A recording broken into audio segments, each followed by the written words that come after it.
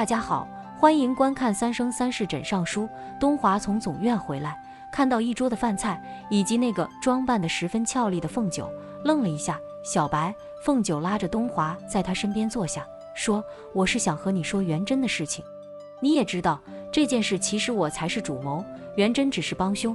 要惩处，就应该我们两个一起惩处。你看，我都向你自首了，你能不能？”凤九倚在东华的身上，声音又软又腻，一双大眼睛柔情满满的看着东华，就差用头去蹲东华了。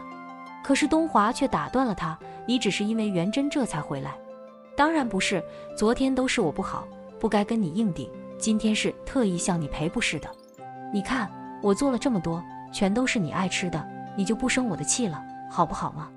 说到这里，凤九顿了一下，说：“其实我也不是让你徇私，只要不罚的那么重。”东华没有说话，脸色却越来越阴沉，使得凤九的话后面的话未能说出来。他不明白，他都已经如此了，东华为何反倒更加的生气？凤九看着东华阴沉的脸色，结结巴巴地问：“弟弟君，你你怎么了？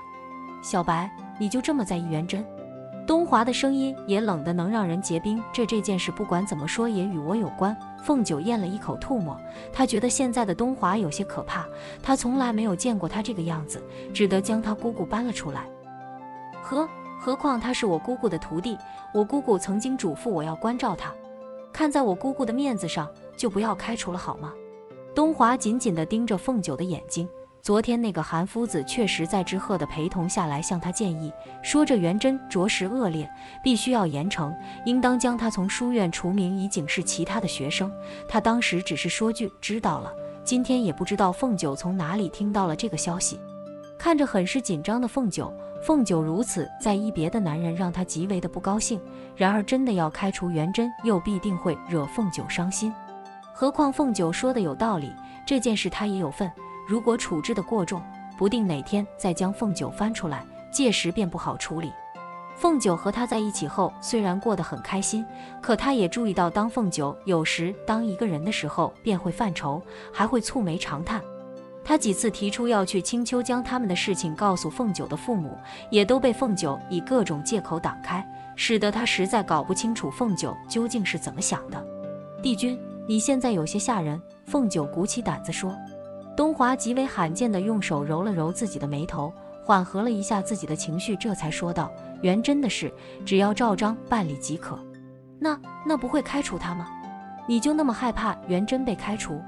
毕竟是被我害的，他要是被开除了，总归会让我觉得有愧于他，也不好向姑姑交代。”凤九说的极为的真挚，放心，我不会开除他的。东华帮凤九理了理头发。轻声说道：“得了东华的承诺，凤九也终于放下心来。不管怎么处理，只要不开除就好。”凤九喜笑颜开，搂着东华的脖子跳起来了。帝君，你真好！在他的脸上亲了一口后，就急忙跑了出去。我去告诉他们这个好消息。凤九没有注意到，东华的脸色虽有所好转，但那双眼睛却越发显得深邃。整治了夫子，这思过肯定是少不了的。再有就是罚抄佛经，对于这样处置，韩夫子自然极为不满，认为惩罚太轻。无奈这是帝君亲自做出，也只得作罢。凤九则觉得他对元贞也算是仁至义尽。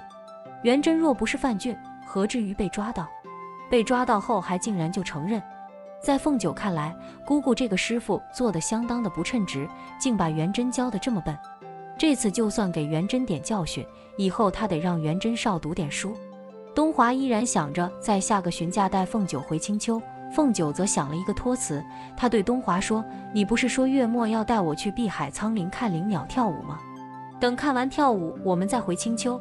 你得先兑现你的承诺才行，要不然我怕你会赖账。我会赖账吗？”东华问。“会，以前你总是骗我。”凤九很肯定地说道。“那如果你赖账呢？”东华反问。“我怎么赖账？”凤九笑着说：“我连滚滚都有了，就算想赖账也不成。看来你是真的想赖账了。”东华的眉毛挑了起来。如果你赖账的话，那我就拿着我们的婚书，叫上天君去找白纸评评理。凤九正要说什么，外面来人求见帝君，却是天君派人请东华前往天宫去议事。东华在打发走仙使之后，转头对凤九说：“我一去恐怕要几天，不如你陪我，我在上学，怎么陪你？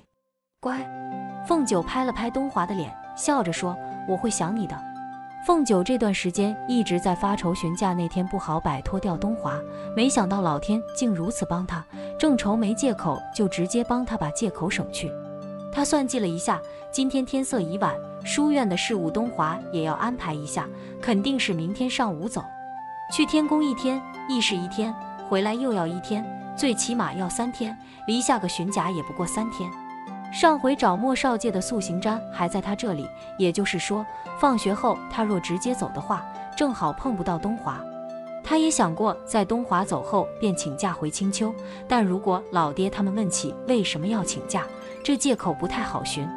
他暗自希望天君这个事能议得久一些，等他从青丘回来再说。在送别了东华后，凤九开始筹划回家要怎么献他姥姥和老爹说。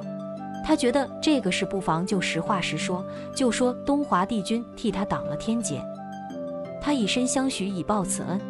他们青丘向来讲究的是恩怨分明，这有怨的固然要揉吧揉吧的加倍偿还回去，这有恩的自然也要全力报答。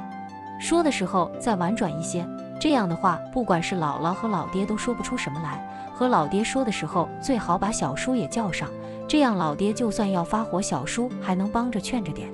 最为难的部分得以解决，让凤九的心情大好，这一天都高高兴兴的。放学后，与阿兰若相约去找知月。元贞要被关三个月，知月的心情肯定不会太好。他们一起去安慰安慰他。还未到丙院，就看到知月急匆匆地往回跑去。阿兰若叫住他：“知月公主，出了什么事吗？”知月一见是他们，便冲他们叫道：“不好了，元贞被人打了。”凤九和阿兰惹都是一愣。元贞不是去面壁去了吗？怎么会和人打了起来？这是怎么回事儿？凤九问道。元贞不是被关了吗？一时间也说不清楚。知月急的声音里都带出了哭腔。他们就在那边，我得去找夫子。说完，他赶紧去搬救兵了。我去看看。凤九说着，顺着知月指的方向赶了过去。打架的地方是个小湖边，只见在一棵大柳树下，三个青年正在围攻元贞。